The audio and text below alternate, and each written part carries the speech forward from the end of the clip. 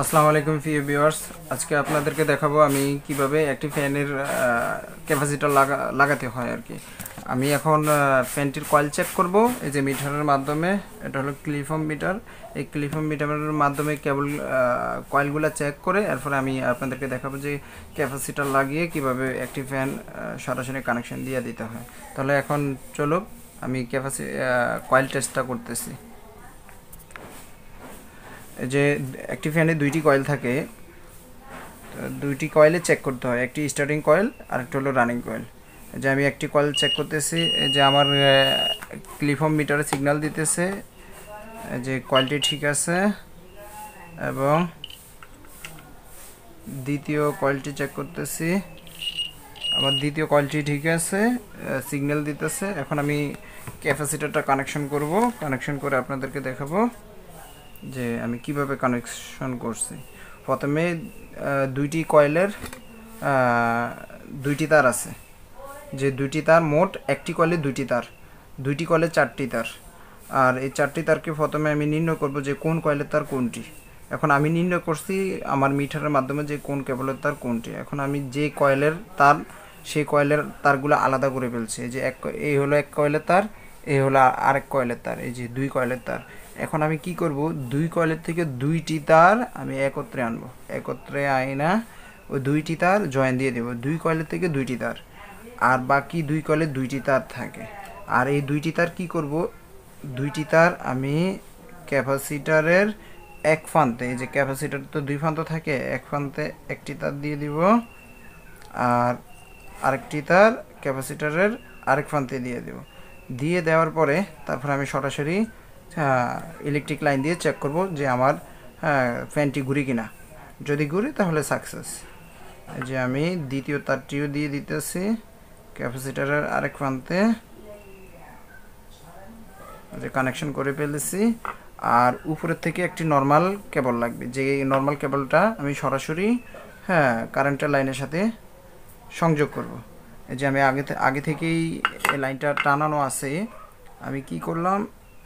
Capacitor একটি প্রান্তে একটি প্রান্তে এখন আমি দিব, দিয়ে আমি সরাসরি চেক করব। আবার অনেক সময় হয় কি হ্যাঁ রিভার্স ফরওয়ার্ড যে ক্যাপাসিটারের মাধ্যমে সেটা হয়ে থাকে, যে ক্যাপাসিটারের এক প্রান্তে দিলে আপনাকে ফ্যানটা কি বাউ ঘুরে নাকি উল্টা ঘুরে সেটা দেখতে হবে। যদি বাউ ঘুরে, তাহলে ঠিক আছে। যদি উল্টা ঘুরে, তাহলে এই ক্যাপাসিটারের এক প্রান্ত থেকে যে লাইনটা আপনি দিবেন কারেন্টের লাইন হ্যাঁ সেই লাইনটা আবার ক্যাপাসিটারের আরেক প্রান্তে দিয়ে দেবেন, তাহলে আপনার ফরওয়ার্ড হয়ে যাবে।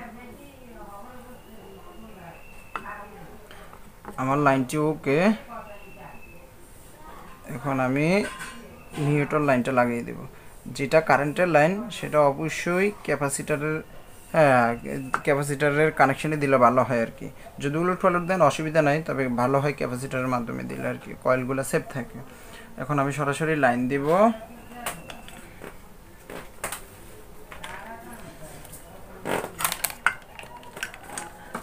আমি ট্যাপিং করে দিতেছি, যেহেতু চালানো লাগবে, একটা রিক্সির ব্যাপার আছে কারেন্টের কাজ। আর অবশ্যই যারা কারেন্টের কাজ করবেন, সর্বপ্রথমে নিজের সেফটি হ্যাঁ নিয়ে নেবেন। কারণ অবশ্যই জানেন, যারা কারেন্টের কাজ করে, তারা অবশ্যই কোনো না কোনো দোকায় পড়ে আর কি কারেন্টের আমি যতদিনে শিখছি, অবশ্যই আমিও কয়েকবার কারেন্টের শর্ট খাইছি। আর আসলে কি, যিনি যে এই কারেন্টের জগতের মূল আবিষ্কারক। তিনি কারেন্টে কারেন্টের শর্টে মারা গেছেন। অতএব কারেন্টের কাজ করলে খুবই সতর্কতার সঙ্গে কাজ করতে হবে। এটা সবসময় মনে রাখতে হবে।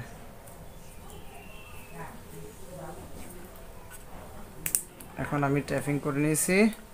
এটা আমার সেফটির জন্য। অতএব আপনারা যারা কারেন্টের কাজ করবেন, নিশ্চয়ই আপনাদের সেফটি অনুযায়ী কাজ করবেন।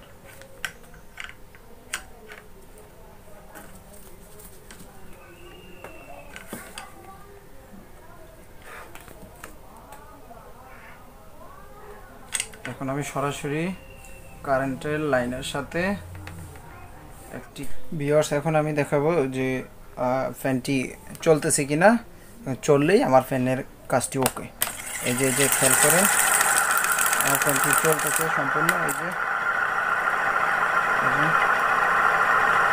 তাহলে ক্যাপাসিটার ফিটিং সাকসেসফুল হয়েছে।